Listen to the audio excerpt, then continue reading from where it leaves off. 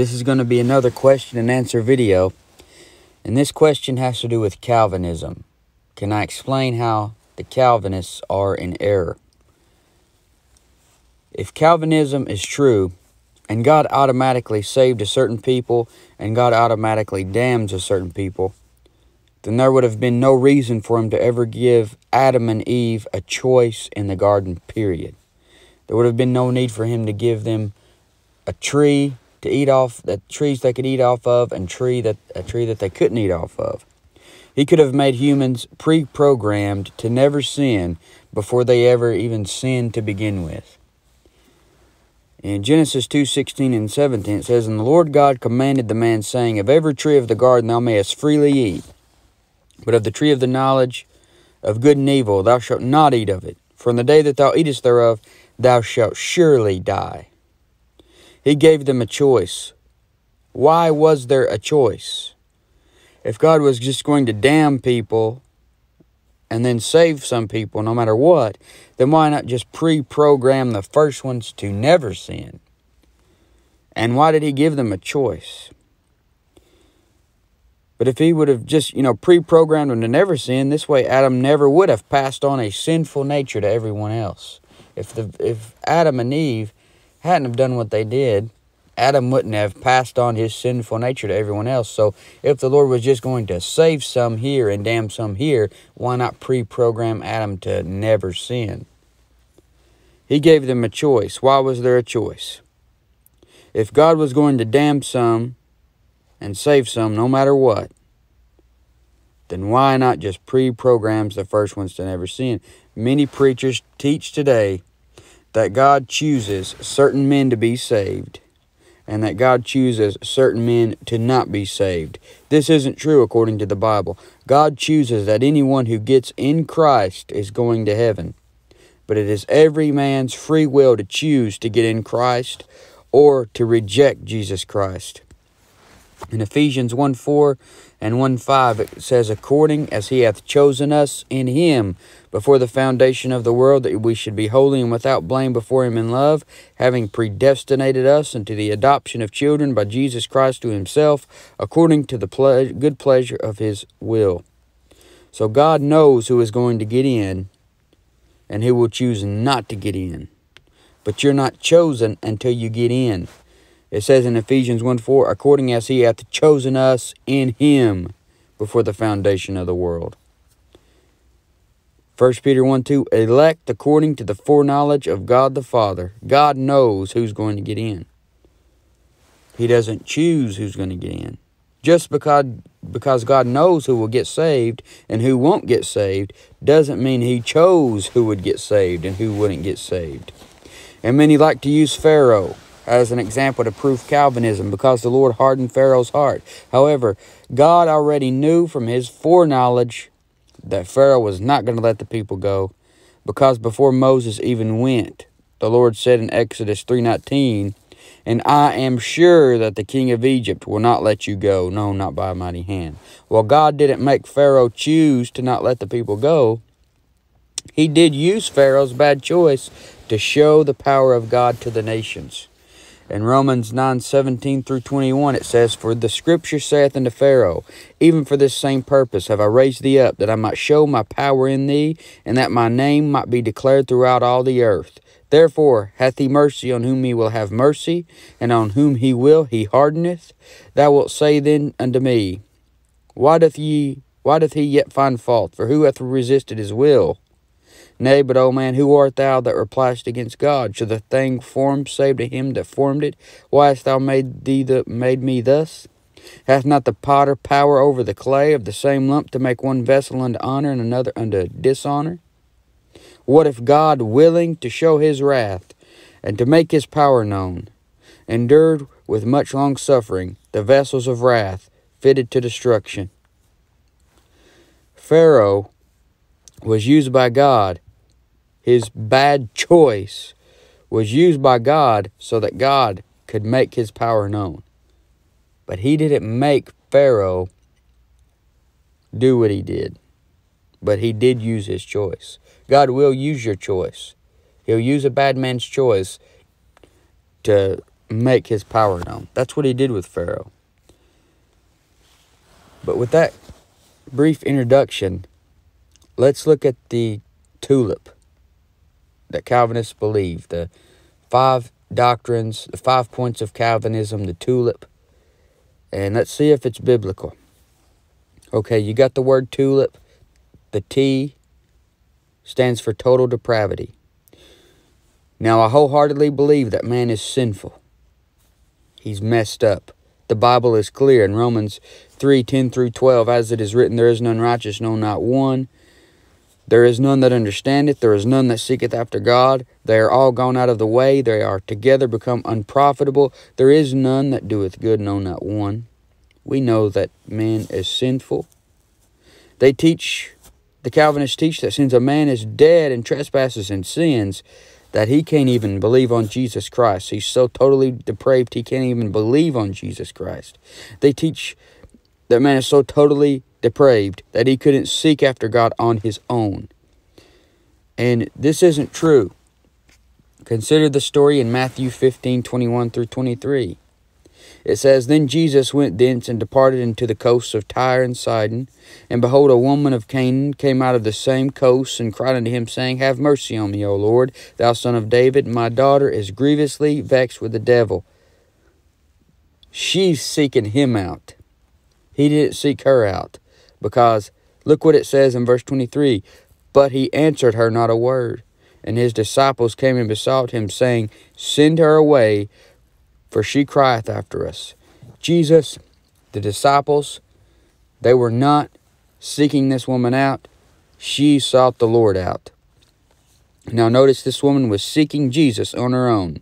Jesus wasn't seeking her, and it even says he answered her not a word, but eventually says in verse 28 then Jesus answered and said unto her, O woman, great is thy faith, be it unto thee even as thou wilt. Jesus Christ was not seeking her, she was seeking him, and he even said that it even said he answered her not a word, but ended up saying, Great is thy faith. She sought him. Jesus Christ died on the cross for everyone's sins. He was buried and resurrected, and he is now presently drawing all men to him. In John 12, 32 through 33, it says, And I, if I be lifted up from the earth, will draw all men unto me. This he said, signifying what death he should die. So he's drawing all men to him.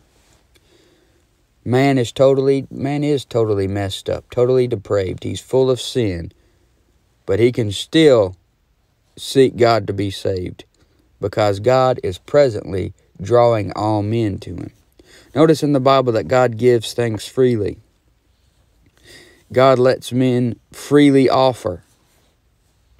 In Genesis 2 16 and 17, the verses we've already read, And the Lord God commanded the man, saying, Of every tree of the garden thou mayest freely eat, but of the tree of the knowledge of good and evil thou shalt not eat of it.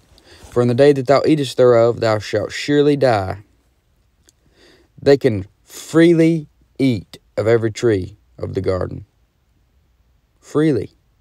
And then the tree of the knowledge of good and evil, they sh- shouldn't eat of it, he says. He gave them two choices.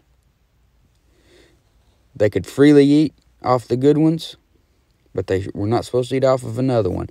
There was a choice. Adam and Eve made the wrong choice. Leviticus 1 3 If his offering be a burnt sacrifice of the herd, let him offer a male without blemish. He shall offer it of his own voluntary will at the door of the tabernacle of the congregation before the Lord, not because he was making them, not because he put a gun to their head, not because of anything other than their own voluntary will. So that that's God putting the responsibility on man. God's done his responsibility. He died on the cross for our sins. Now it's up to us to accept the payment. In Psalm 119, 108, Accept, I beseech thee, the free will offerings of my mouth, O Lord, and teach me thy judgments. The offerings were free will offerings. If you teach that God automatically damns some, Then you teach that man has to give account for something for the which he couldn't help. If man is so depraved that he can't even believe on Jesus Christ without God doing it against his will, then if a man rejects Jesus Christ and goes to hell, God is putting him in hell for something that the man couldn't even help. In Matthew 12 36, it says, But I say unto you that every idle word that men shall speak, they shall give account thereof in the day of judgment. So they're given, if Calvinism is true, they're given account for something that they couldn't even help. What kind of God do they have? Romans 14, 11 through 12, For it is written, As I live, saith the Lord, every knee shall bow to me, and every tongue shall confess to God. So then every one of us shall give account of himself to God. So if I'm not one of the elect, as the Calvinists say, and I can't believe on Jesus Christ, I'm going to give account of myself to God and be punished for something that I couldn't even help. Every person who was born again came to their own decision that they would believe the gospel.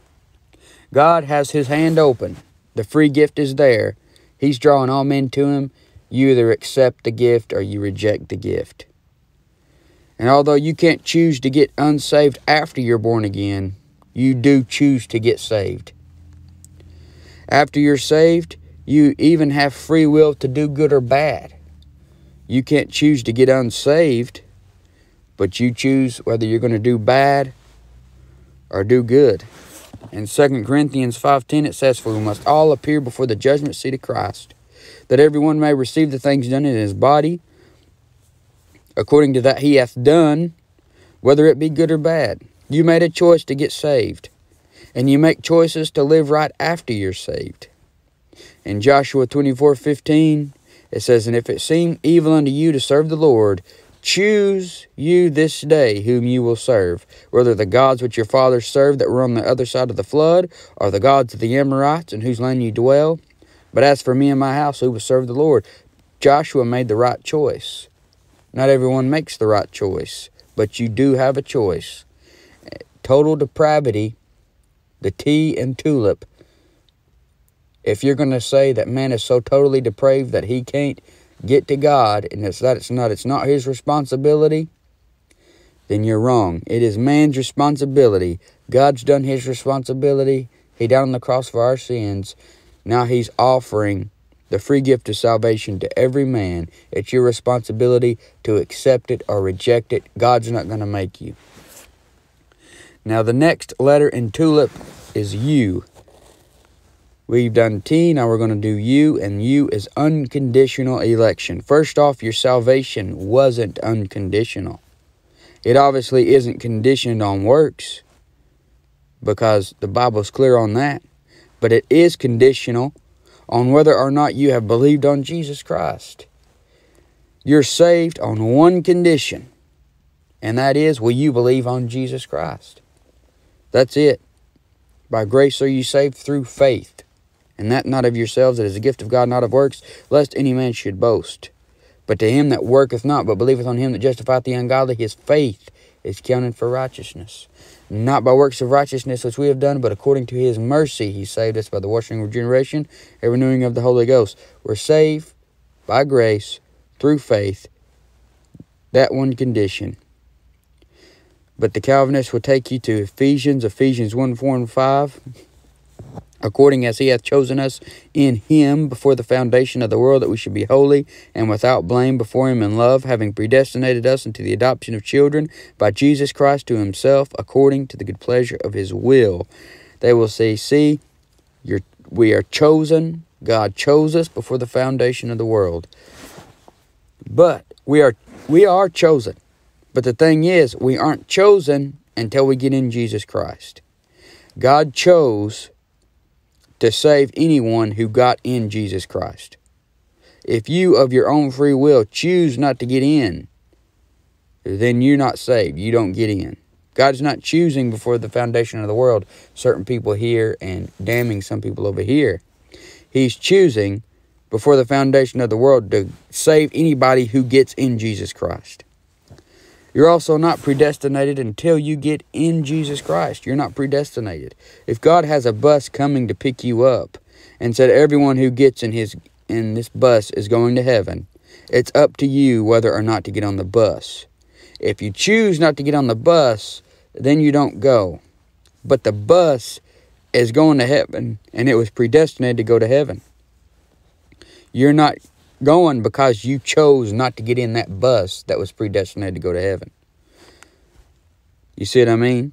God sees through his foreknowledge who will be saved and who won't choose to get in Christ. But he doesn't choose for the person. The person chooses of their own free will. 1 Peter 1 2, elect, elect according to the foreknowledge of God the Father. God didn't choose for you but he knew the decision you would make, and he wants all men to get saved and made it whosoever will. Romans 9:33 As it is written behold I lay in Zion a stumbling stone and rock of offense and whosoever believeth on him shall not be ashamed. Romans 10:11 through 13 For the scripture saith whosoever believeth on him shall not be ashamed for there is no difference between the Jew and the Greek for the same Lord over all is rich unto all that call upon him. For whosoever shall call upon the name of the Lord shall be saved. So anyone who gets in Christ is predestinated. But they aren't predestinated until they get in Christ. If they are predestinated before that, then this would also mean that God predestinated people to go to hell because most people don't get saved. And God's just not going to choose for someone to automatically go to hell. That doesn't make sense. Now the next letter is L, and that's going to be for limited atonement. In Ephesians 5:25 it says, "Husbands love your wives even as Christ also loved the church and gave himself for it." So Calvinists teach that Jesus Christ only died for the church. He did die for the church, but he actually died for every person who ever lived. Every person's sin has been paid for the thing is, they're just, most of them are rejecting the payment. In 1 Timothy 2 4, 2 4 through 6, it says, Who will have all men to be saved and come to the knowledge of the truth. For there is one God and one mediator between God and men, the man Christ Jesus, who gave himself a ransom for all to be testified in due time. So, it says he will he who will have all men to be saved. It's his will that all men get saved. And it says he gave himself a ransom for all. He's wanting everybody to get saved. He's not damning anybody against their own will. Second Peter 2 1, but there were all but there were false prophets also among the people, even as there shall be false teachers among you, who privily shall bring in damnable heresies, even denying the Lord that bought them and bring upon themselves swift destruction. God paid for the sins of every person. They're rejecting the payment of their own free will. 2 Peter 3 9 The Lord is not slack concerning his promise, as some men count slackness, but is long suffering to usward, not willing that any should perish, but that all should come to repentance. So you're telling me it's his will some men go to hell and in this verse is telling me he's not willing that any should perish, but that all should come to repentance. So who should I believe? You or the Bible? Notice what Paul tells Timothy in chapter 4 and verse 10 of his letter to him. 1 Timothy 4:10 For therefore we both labor and suffer reproach because we trust in the living God who is the savior of all men especially of those that believe he clearly says that God is the Savior of all men, and then even makes a distinction between those who believe and who don't. Jesus died for everybody. He's the Savior. He's the only way for everybody. He said, I am the way, the truth, and the life, and no man cometh unto the Father but by me. In 1 John 2 2, and he is the propitiation for our sins, and not for ours only, but also for the sins of the whole world. It ain't for ours only, it's for the sins of everybody. It is so clear in the Bible that God died for every man and every sin. God wants to show mercy to all men.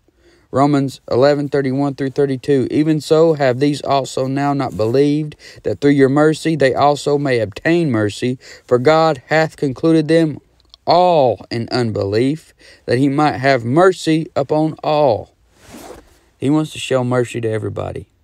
God has no pleasure in the death of the wicked, according to Ezekiel 33:11. So, why would he create certain men for the purpose of simply having them live out their miserable life and go to hell? Where is mercy in that? But the next letter in tulip, the I, and this is for irresistible grace. This teaches that God makes someone get saved against their will. Acts 13:48 says, "And when the Gentiles heard this, they were glad and glorified the word of the Lord." and as many as were ordained to eternal life believed. So what they teach is God if if you if you're supposed to get saved, if God wants you to get saved, then you're going to get saved whether you want to or not. Whereas they think there may be somebody who would like to get saved, but they can't. They also believe there's somebody who doesn't necessarily want to get saved, but they're going to because they were supposedly ordained to eternal life against their will. But Matthew 23 37, Jesus said, O Jerusalem, Jerusalem, thou that killest the prophets and stonest them which are sent unto thee, how often would I have gathered thy children together, even as a hen gathereth her chickens under her wings, and ye would not. Notice that, and ye would not. They went against what he was wanting them to do. They have a choice. God's will does not always happen. Every time a person sins, actually, his will is violated. God wants you to do right. God wants you to do the right choice every time. All unrighteousness is sin. He doesn't want you to do anything bad. 1 Thessalonians 4 3 says, For this is the will of God, even your sanctification, that you should abstain from fornication. When you don't live a sanctified life, you're not doing the will of God, you're violating his, the will of God. 1 Thessalonians 5:18 and everything give thanks for this is the will of God in Christ Jesus concerning you. You don't always do that. You you break God's will all the time. His will is violated when people reject the gospel. In Acts 17.30, In the times of this ignorance God winked at, but now commandeth all men everywhere to repent. It goes against God's will anytime anyone rejects the gospel. So why, why would you say it's God's will that some men don't accept the gospel? That makes no sense. 2 Timothy 4 through 6, who will have all men to be saved and to come into the knowledge of the truth. For there is one God and one mediator between God and men, the man Christ Jesus, who gave himself a ransom for all to be testified in due time. His will is violated when men go to hell.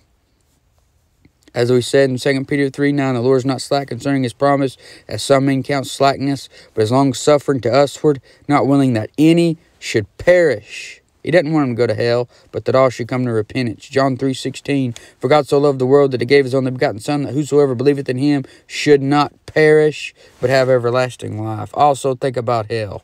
If God chose to automatically damn certain men to hell against their will, wouldn't hell be created for the so-called non-elect?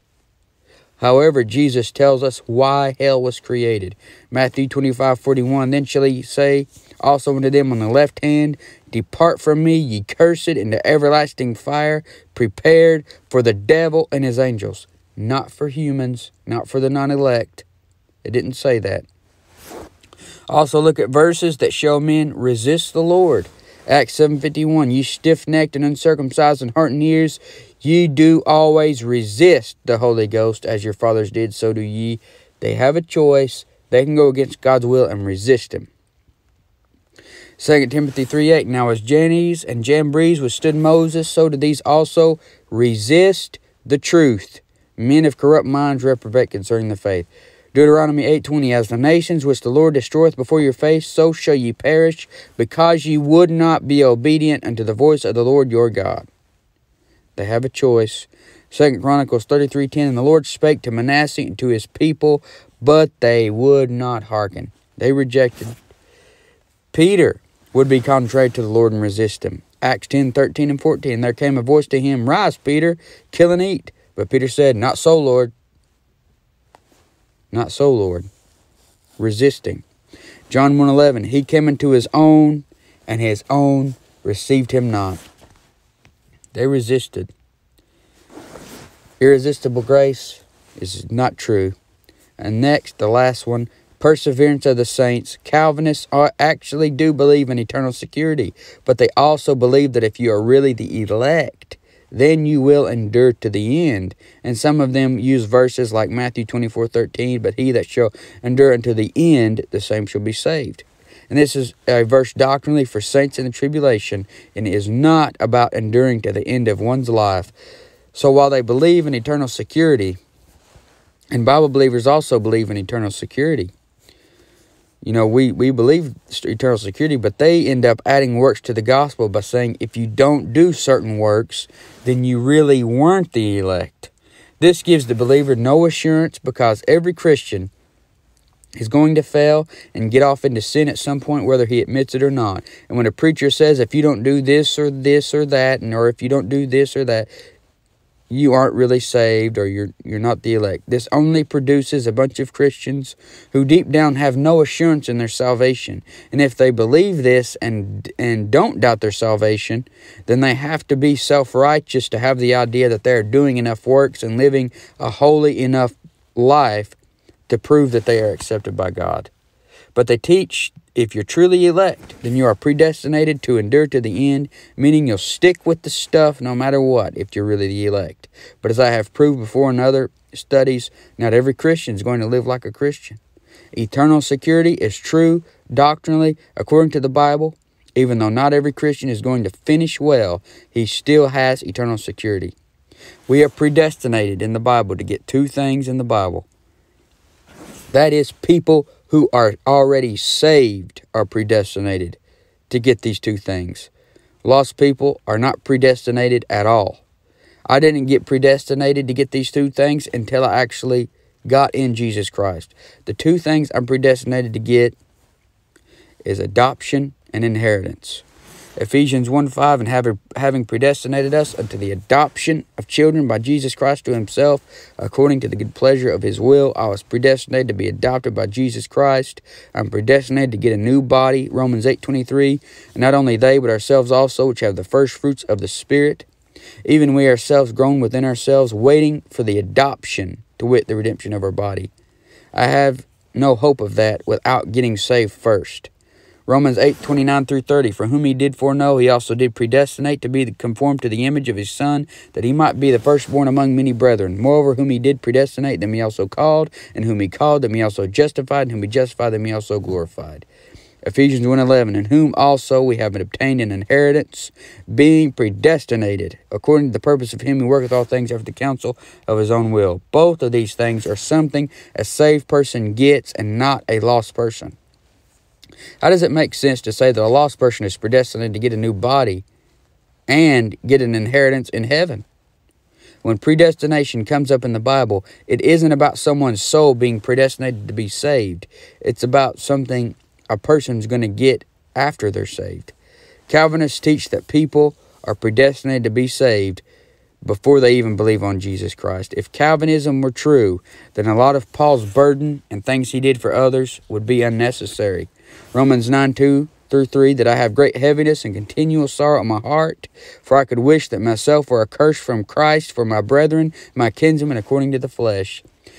If the Jews were just automatically damned, then why did Paul say he could wish himself accursed from Christ for them to be saved? Why did he say that? Why did he say in 1 Corinthians 9.22, To the weak became I as weak, that I might gain the weak? I am made out all things to all men, that I might by all means save some. Why would he say that if it was up to God on whether or not they go to heaven or hell? But I hope this has explained to you why Calvinism is unbiblical and why we reject Calvinism completely as Bible believers.